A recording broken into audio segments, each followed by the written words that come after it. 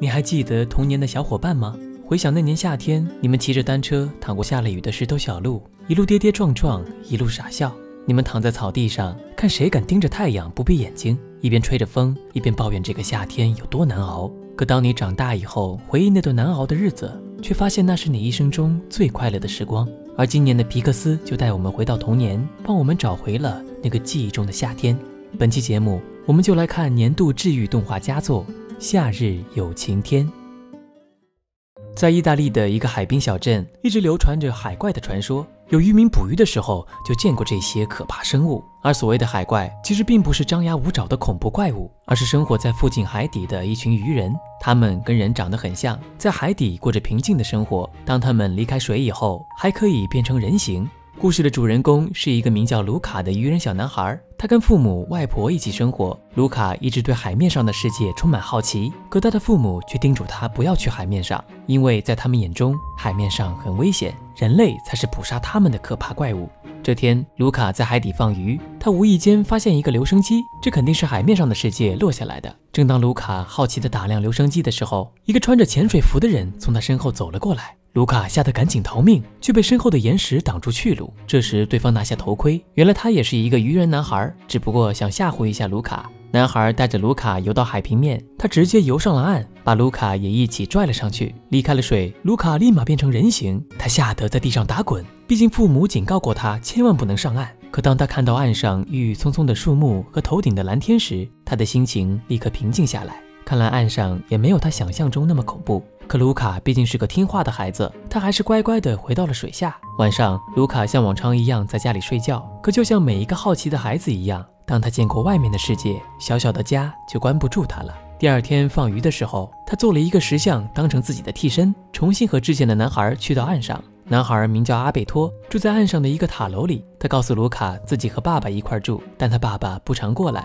阿贝托的家里收集了很多人类的东西，让同样好奇的卢卡非常着迷。墙上还有一张韦氏牌摩托车的海报。阿贝塔说，骑上摩托车就可以环游世界，去任何想去的地方。于是两人就用家里的零件做了一辆简易摩托车。没人教过他们怎么骑摩托，胆子大的阿贝托索性借着地心引力骑车冲下山坡。卢卡举着木板作为坡道，最后车子直接散架，人也掉进了水里。可阿贝托却骑得很开心。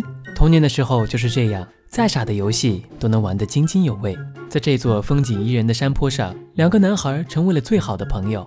他们躺在塔楼里看美丽的夜空，月亮和星辰仿佛是一只大鱼保护着一群小鱼。他们继续用破铜烂铁制作摩托车，做出一辆又骑坏一辆。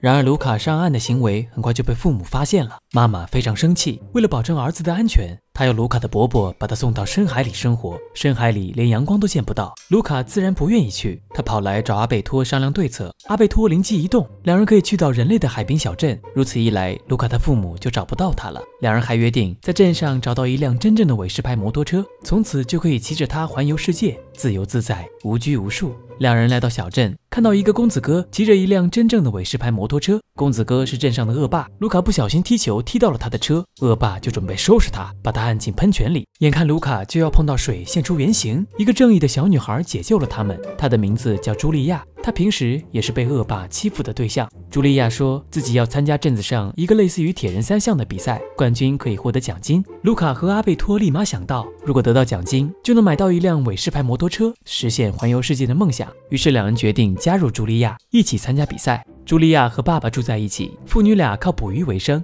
海怪的出没让小镇的人们惶恐不安。茱莉亚爸爸扬言，看到海怪一定不会手软，这让卢卡和阿贝托吓出冷汗。万一现出原形，他们肯定就完蛋了。三个孩子组队报名比赛，然后就开始了训练。比赛内容分为游泳、吃面、骑单车三项，由茱莉亚负责游泳，阿贝托负责吃面，卢卡负责骑单车。另一边，为了找到儿子，卢卡的父母也冒险来到小镇。可是儿子已经变成人形，就算见到他，也不一定认得出来。这时，妈妈看到一群在喷泉边踢球的孩子，她顿时有了主意。她用球把孩子们一个个打入水里，只要是卢卡，肯定就会现出原形。可是找了一圈，还是没有发现卢卡的踪迹。倒是卢卡从旁边经过，一眼就认出父母的背影。可此时他不愿相认，他不想再回到家里，回到那个看不到阳光的深海。或许对很多人来说，家就是这样一个地方。小时候我们拼了命想要逃离，可长大以后想回，却再也回不去。晚上，两个男孩住在茱莉亚大的树屋里。可阿贝托发现，自从认识茱莉亚以后，他和卢卡单独相处的时间就变少了。三个人的友谊似乎有点拥挤。有时阿贝托会被叫去给茱莉亚爸爸帮忙，只留下卢卡和茱莉亚聊天。茱莉亚只有放暑假的时候才来这座小镇，平时她在妈妈住的城市上学。她把课上学到的东西分享给卢卡，还把书本借给他看。知识的海洋让没读过书的卢卡着了迷。天上的行星，浩瀚的宇宙，会飞的滑翔机，比小镇还要大的城市。茱莉亚把卢卡带入了更广阔的世界，卢卡的好奇心得到了更大的满足，他开始对学校充满向往。看到卢卡和茱莉亚越来越亲近，阿贝托心里开始有些不平衡。那时的我们还不懂什么叫吃醋，只知道撅起小嘴模仿大人发脾气的样子。在三人一起训练骑单车的时候，阿贝托冲动地载着卢卡冲下山坡，结果却摔进水里。卢卡非常生气，上岸之后跟他扭打在一起，直到茱莉亚赶来，两人才停止打斗。卢卡的想法变了，他不想再跟着阿贝托骑车环游世界，而是想去上学。可是，一个海怪怎么能去学校呢？阿贝托为了打消他的念头，直接在茱莉亚面前走入水里，现出原形。可接下来发生的事，阿贝托却完全没有想到。卢卡不想自己被暴露，指着阿贝托大叫说他是海怪。阿贝托彻底懵了，他望着卢卡，眼里充满了绝望。因为懦弱和不懂事，我们都曾做过一些过分的事，伤害到自己最亲近的朋友。有些伤痛会在彼此的成长和包容中消散，有些却会成为一生都抹不掉的阴霾。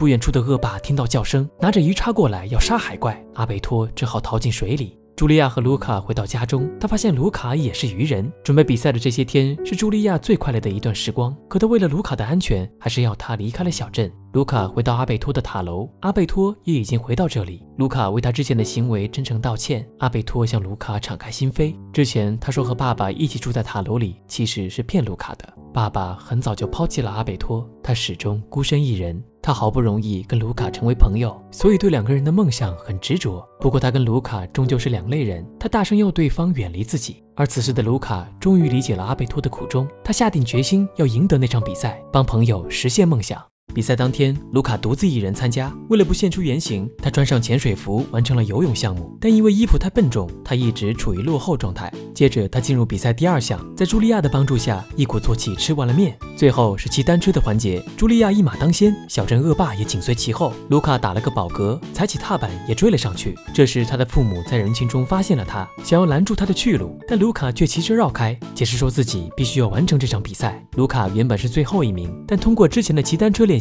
他很快就追了上来，可这时天上下起了雨，雨水差点让卢卡现出原形，他只好在一处屋檐躲雨。还剩一个下坡就到终点了，可卢卡不得不停下脚步。就在他快要放弃的时候，阿贝托举着一把大伞跑了过来，卢卡顿时露出笑容。有了这把伞，他就能重新出发了。但这时恶霸却冲了过来，一脚把阿贝托踢翻在地，大伞掉落，阿贝托在大雨中彻底变回鱼人。周围的人群都被吓坏了，但阿贝托却示意卢卡留在屋檐下，他挥着手引开所有人的注意，却很快被恶霸用渔网制住。看到阿贝托倒在地上，卢卡的眼神突然变得前所未有的坚定。他骑车冲了下去，握住阿贝托的手，将他救起。恶霸抄起鱼叉就向前追去，两人想径直冲进海里逃走，但很快恶霸就追了上来。正当他要用鱼叉杀死他们的时候，茱莉亚冲上来撞翻他的单车，而自己也摔倒在地。卢卡和阿贝托连忙刹住车，不顾周围人的眼光，扶起了茱莉亚。恶霸还不依不饶地要处决两只海怪，但茱莉亚的爸爸这时却站了出来。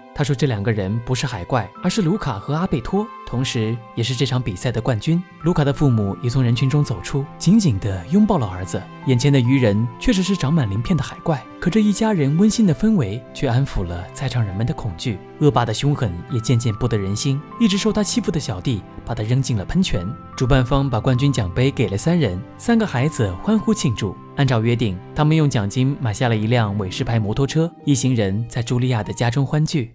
故事的最后，茱莉亚要回去上学了，两个男孩给她送行。等茱莉亚坐上火车以后，阿贝托却也递了一张车票给卢卡。原来他把摩托车卖了，换了车票给卢卡去上学。卢卡的父母也过来送行，他们已经给儿子安排好了入学的事。大家都知道卢卡想上学的心愿，于是，在最后一刻给了他惊喜。而这一切都是阿贝托的想法。曾经和卢卡环游世界是他的梦想，但现在他似乎已经拥有了更重要的东西。不过上学并不是阿贝托的意愿，所以他选择留在小镇和茱莉亚的爸爸一起生活。卢卡跟阿贝托紧紧相拥，然后不舍地走上火车。随着火车开动，曾经握紧的双手又在此刻缓缓分开。三个孩子的故事结束了，但这份友情却没有完结。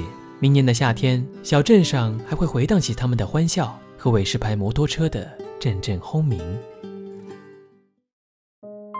蔡康永说：“我们为什么羡慕青春？青春最大的乐趣是什么？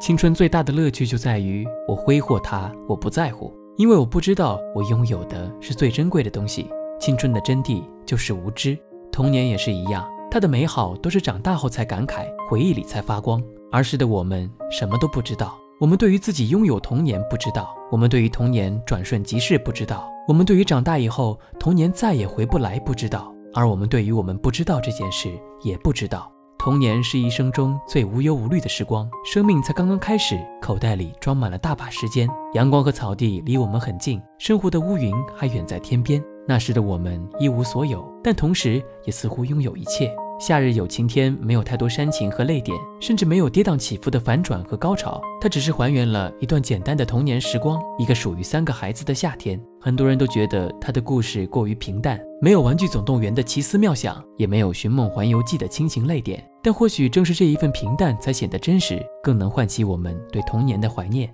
而童年之所以快乐，离不开那些亲密无间的小伙伴。在最天真浪漫的年纪，我们还没有爱情的萌芽，还不懂亲情的可贵，只有友情是我们最忠实的陪伴。它是两个人的形影不离，三个人的齐心协力，是一起开着飞机翱翔天空，一起骑上摩托环游世界。我们还不懂孤独的痛，友情便已治愈了孤独。而在电影结尾，三个孩子都对友情有了更深刻的领悟。它可以是一起嬉戏玩耍，也可以是为了朋友的梦想拼尽全力，在关键的时刻对他不离不弃。它可以是拉着朋友的手一起冲下自由的山坡，也可以是默默地制造一场惊喜，为了他的心愿放手任他远行。海风吹过的意大利小镇，来年还会迎来雨季，但在孩子们的记忆中，这里永远都是晴天。好了，本期的节目就到这里，记得订阅我们的 YouTube 频道，并留下你的点赞评论，我们会解说更多好电影。我是巴斯光年，我们下期再见。